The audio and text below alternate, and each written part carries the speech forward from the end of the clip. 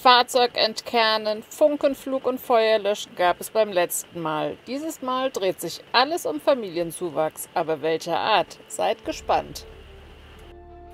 Zunächst einmal gilt es, sich von den aufregenden letzten Tagen ein bisschen zu erholen, den Chill-Modus einzuschalten, bevor es wieder zum nächsten geht.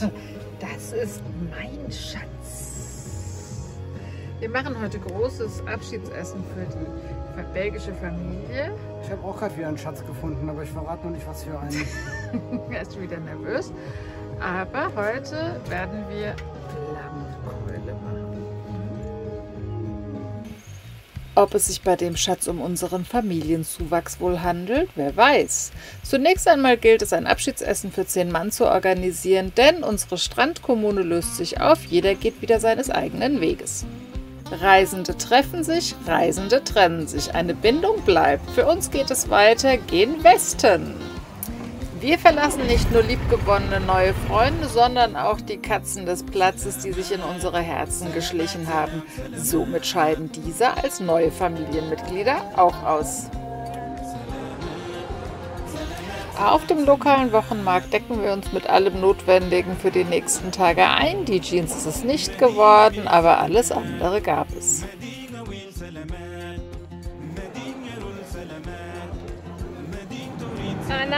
Bedeutet für uns zehn Tage wunderbare Freiheit mit Freunden am Strand, für andere harte Arbeit mit Freiland, Erdbeeren und Bananenanbau mitten im November. Wir sind wieder unterwegs. Tage haben wir es auf dem Campingplatz ausgehalten. Aufgrund von netter Gesellschaft, schönem Wetter, schönem Wasser. Lässt sich auch schlechter leben, als am 10. November ins Meer zu gehen. Wir kommen in den Speckgürtel von Alanya.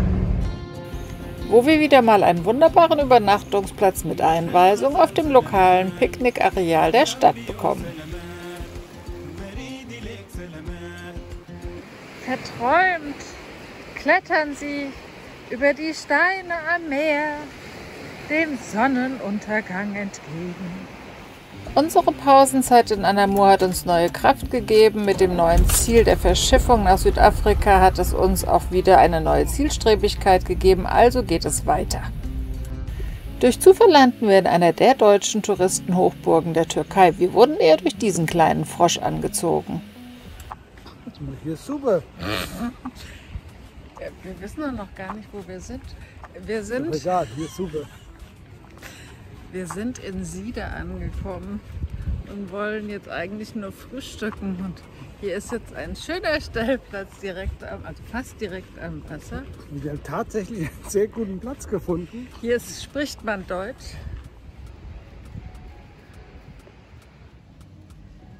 Kann ich euch mal so einen richtigen Zug, so einen echt typischen Bazar zeigen. Ein Stück 15 Euro, zwei Stück. Die sind einfach der Zeit voraus. Die sind schon in der EU. Neben der Fähigkeit, sich in so einem Touri-Hotspot wegbeamen zu können, ist es auch wichtig, dass man in der Lage ist, ein Schutzschild um sich herum zu haben. Damit man die ganzen. Woher kommst du? Bist du deutsch? Was brauchst du? Was willst du? Was äh, möchtest Alles du? günstig Massage? kriegst, Alles kriegst, du, billig, alles gut, kriegst du viel günstig. Aber hier muss man auch sehen, wir laufen jetzt ein paar, ein paar alten Steinen vorbei. Wir werden auch sofort immer als Deutsche erkannt, weil ich glaube, 60 Prozent ist deutscher Tourismus hier. Ich bin komplett verkleidet wie so ein Ami mit meiner Trucker-Cap. Ich kann gar keiner erkennen. Doch, hier wird voll erkannt. Normalerweise wird ja der Deutsche am Schuhwerk erkannt. Sandalen und Socken. Aber wir toppen das natürlich. Wir sind noch komischer. Zu unserer Entschuldigung sei vielleicht kurz gesagt, es ist ein relativ schneller und harter Schnitt zwischen der tiefen Einsamkeit von Ostanatolien und jetzt hier an die Küste von Siede zu kommen. Es ist nicht ganz einfach zu verkraften. Die Verschmelzung antiker Hochkulturen mit heutigem Massentourismus überrascht uns extremst positiv und wir wandeln auf alten Pfaden.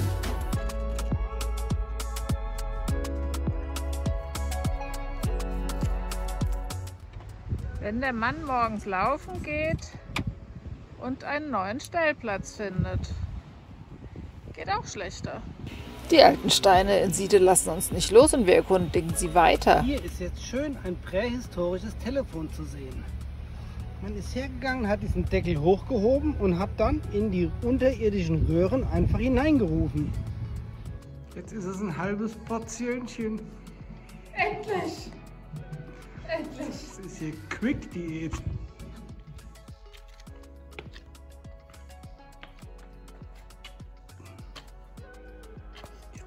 Endlich einen Pausenplatz gefunden.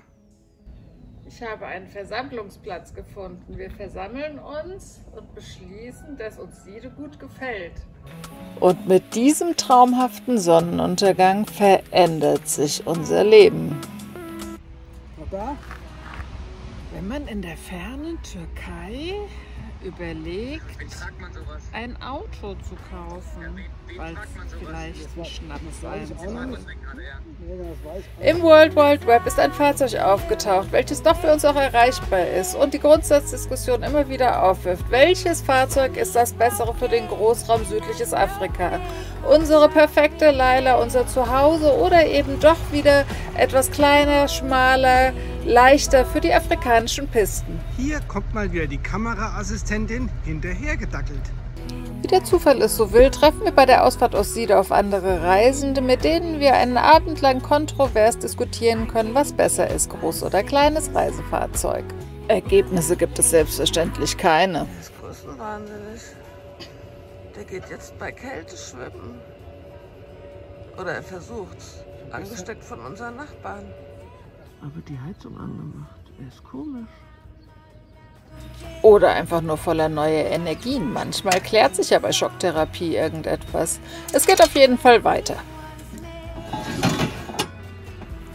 Und so wie Laila um dieses Fahrzeug herumkreist, so kreisen unsere Gedanken auch um ein ähnliches Fahrzeug. Es handelt sich um einen Toyota Land Cruiser HZJ. Toyota oder Laila, Toyota oder Laila. So oder ähnlich werden die Gedanken aussehen, die in Renés Kopf rumgehen. Wir fahren jetzt mal ein bisschen durch Antalya, um mal so einen Eindruck von der Stadt zu bekommen. Doch mal ganz ehrlich, die Stadt kann gar nichts dafür, aber wir nehmen nicht wirklich viel wahr, weil die Entscheidungen bei uns im Kopf hin und her hüpfen.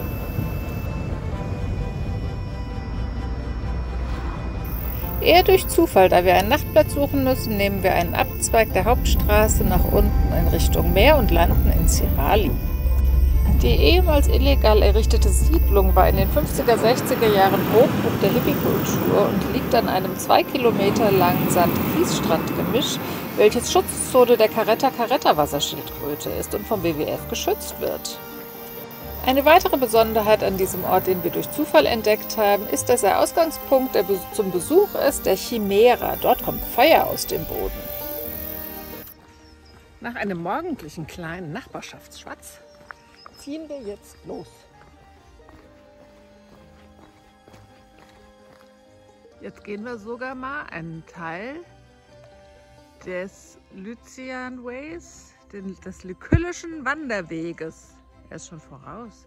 Der wartet nicht auf mich. Und ich rede natürlich wieder Quatsch, verbessere mich selber, ich alte Klugscheißerin. Das ist der Lückische Weg. Mein lücklicher Wanderweg blickt auf das Grün und die Berge und das Meer und die Moschee. Und Alpenfeilchen im November. Hier lächle ich noch, weil wir wollen ja eigentlich nur einen kurzen Spaziergang in die Nachbarbucht machen. Laut unserem Navigationsgerät sind es nur drei Kilometer knapp, aber es geht ganz schön hoch und runter und lässt uns bei einem halben Liter Wasser dabei ganz schön aus der Puste kommen. Das ist unser Ziel. Ziel erreicht und so erhitzt wie wir sind, lässt es sich auch leichtfertig in die Fluten stürzen, bevor es dann irgendwann wieder zurückgeht. Das Frühstück wartet immerhin noch auf uns. Und wie findest du jetzt eigentlich unseren kleinen vor dem Frühstück Morgenwalk? Nass geschwitzt, ich habe Hunger. Mir tun die Knie weh. Aber es ist schön. Und wir haben natürlich für den Anfängerfehler schlechthin gemacht. Nein, haben, wir sind klug. Wir wollten nicht so viel Gepäck mitnehmen. genau. Da lag doch ein halbes, halbes so ein Fläschchen Wasser da. Doch da sehen wir unseren Rettungsanker, Laila. Wir haben es geschafft. Wir sind wieder ebenerdig. Meine Beine sind zumindest Gummi. Und es ist kurz vor 13 Uhr. Ist doch eine gute Zeit, um zu frühstücken. Doch zuerst wird der Schweiß der Anstrengung abgewaschen, bevor ich mich ans Frühstück machen mache. Kennt ihr das? Mit einem neuen Ziel vor Augen wird man wieder zielstrebiger und fährt wieder mehr. Nach ein paar Tagen der Ruhe in Cirali und der Überlegung, was ist gut und was ist besser, kleines Auto, großes Auto, zieht es uns weiter. Wir fahren über die Berge in Richtung Kamluka. Und meine Kamerafrau liebt das Wandern. Für Camper ein riesengroßer weiterer Pluspunkt. In der Türkei findet man überall Wasser. Und so sind wir vollgetankt an unserem nächsten Traumstrand. Es ist vollbracht. Wir haben ein neues Auto kaufen lassen durch unseren Sohn. Unsere Leila im Hintergrund, deswegen mache ich das ein bisschen entfernt. Darf es nicht hören, weil die ist bestimmt beleidigt, sonst bringt es uns nicht nach Hause. Ja, die wird ja nur geschont. Wir sind am Überlegen, das Auto dann als Afrika-Auto zu nutzen, welches wir im Januar verschiffen. Und es ist natürlich mal wieder ein Toyota. Da ist auch der Mann wieder glücklich. Als wäre er mit Leila unglücklich. Ja, aber so ein Toyota brauchen wir Das ist halt immer noch. Schwein. Das muss ich ja immer wieder Das mal bin ich sagen. überhaupt nicht. Doch. Ich kümmere mich immer um sie. Ich mache alles. Ja, nur, also ich trinke jetzt hier ein Gin Tonic mittags um vier. Also es wird jetzt alles neu im Dezember, nicht im Mai. Mal kurz die Karten neu gemischt und dann geht's wieder weiter. Wow, wir haben es getan, wir sind crazy. Erstmal Füße hochlegen, das Ganze verarbeiten. Herzlich willkommen, lieber Toyota, in unserer Familie. Warum, wieso, weshalb? Folgt beim nächsten Mal. Bis dann.